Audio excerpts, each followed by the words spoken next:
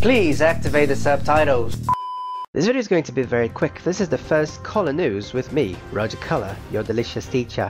And today we're going to talk about something that happened last week. I don't know when I'll post this video, but in my perspective it happened last week. Roger Waters from the band Pink Floyd came to play here in Brazil and he divided the crowd when he stated his anti-Bolsonaro comments. Some people applauded him and many, but many people booed him. And I've seen many people extremely surprised, shocked and triggered by his attitude. First of all, let me show you what happened. And please activate the subtitles, it's really important. So please activate the subtitles. Okay, have you done that? So check it out. You do have a very important election coming up in three weeks' time. So at some point you're going to have to decide who you want your next president to be. I know it's none of my business. Except that by and large I am against the resurgence of fascism all over the world. And as a believer in human rights, and that includes the right to peaceful protest under the law, I would prefer not to live under the rule of somebody who believes military dictatorship is a good thing. I remember the bad old days in South America with the juntas and the military dictatorships, and it was ugly.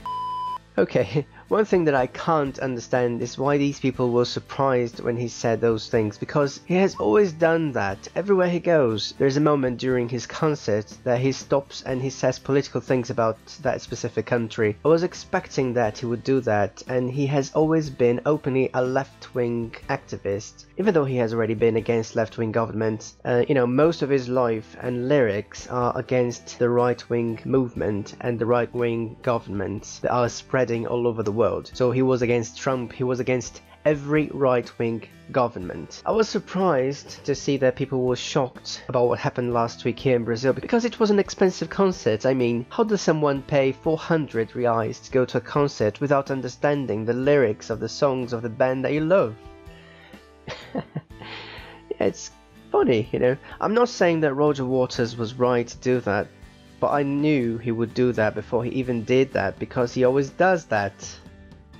Roger's father was a school teacher and a Communist Party member. He was killed in 1944 when Roger Waters was only 5 months old. By the way, some people call Pink Floyd as Political Floyd due to the fact that their lyrics are loaded with political content. I've separated here some of their songs to prove you that. Please pause and when you have time, listen to these songs and notice that they have always been very active politically. These are their songs about fascism and Nazism,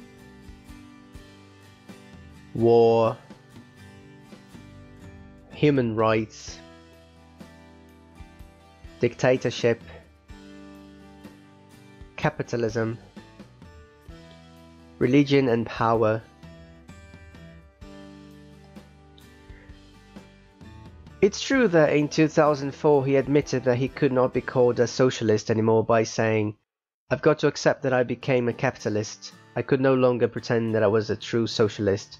Yeah, he made millions with his band, and that's a lot of money for someone against capitalism. But really, I'm not here to judge him. I've got to confess that I couldn't care less about his political views. I love Pink Floyd, especially for their songs which are not related to politics. Songs about mental stability, space exploration, science fiction, anxiety, so on and so forth. What I mean is, their songs are about many things, not only about political thoughts. However, as I said in the beginning of this video, people were shocked and surprised when Roger Waters said that he was opposed to Bolsonaro, but they shouldn't be shocked because he's known as a person who always does that. He always stops his concert for a while to talk about politics and his left-wing views. I mean, if you go to a Pink Floyd concert and you are shocked when you find out that Roger Waters has socialist ideas and views, then you're probably listening to Pink Floyd without paying attention to the lyrics. I mean, it shows our political protests against ideas that Bolsonaro defends, and many people were shocked when he said that he was against Bolsonaro. So what's going on?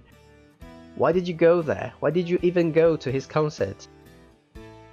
What he did was totally expected. He's done that in Mexico, in England, in the USA, in South Africa, in Brazil, so on and so forth. Therefore, there shouldn't be any surprise or shock when he did that here in Brazil last week. So it's sort of funny, in a way.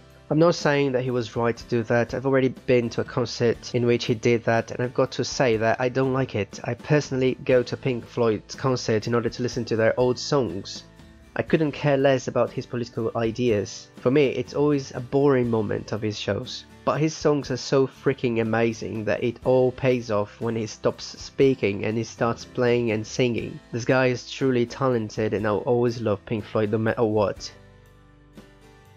But what's your opinion about this? Were you shocked when Roger Waters said bad things about Bolsonaro? Do you think he was right? Was he wrong in your opinion? Please leave a comment. Yeah, I want the comment section to be on fire.